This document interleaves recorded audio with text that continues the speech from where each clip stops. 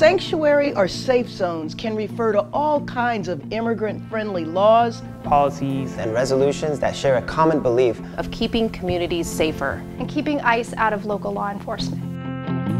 Schools, colleges, hospitals, worship communities, and public events are sensitive locations that even ICE themselves recognize as protected. Will you offer sanctuary? This is a real reality for undocumented immigrants.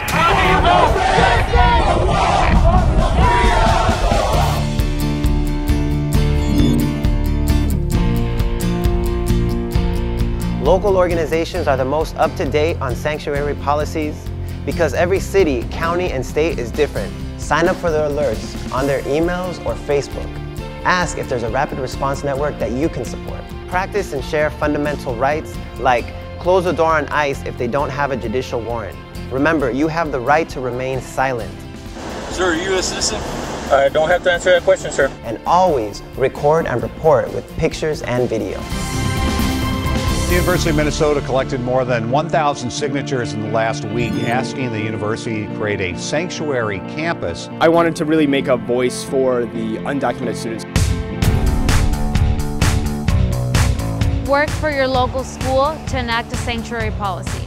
Everyone can gather petitions, organize sit-ins, walkouts, or even town halls to get your board to enact sanctuary policies.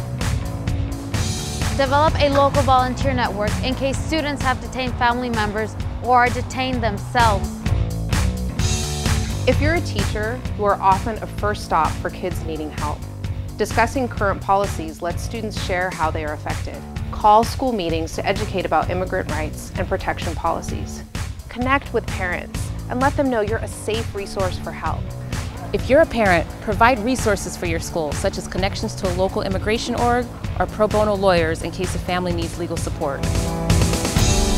More than 6,000 people have signed up to provide sanctuary around the country, including 800 churches.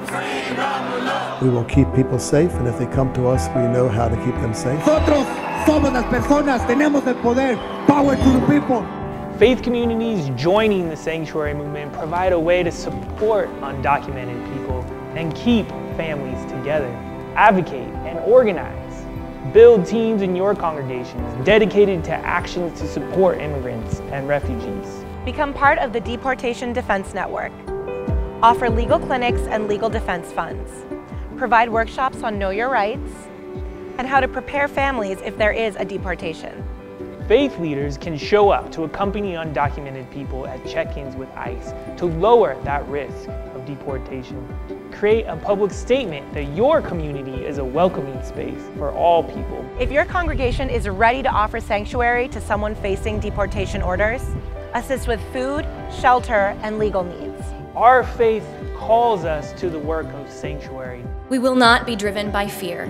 We will not let fear drive our decisions who we are as a people, what we value in this community. We are a people of courage, we are people of faith, we are a people of peace. Thank you.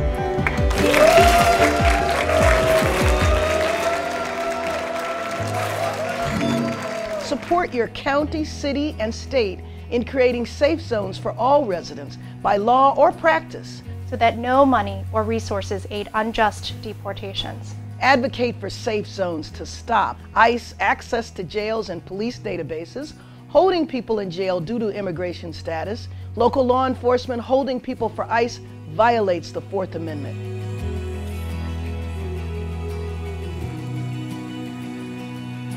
Cities and counties have no legal obligation to enforce immigration laws with ICE. Get all your friends to call their local county and city representatives to limit ICE's ability to divert resources away from community safety. Advocate to stop information sharing such as addresses or release dates.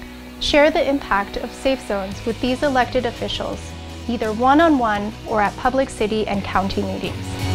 We are all immigrants.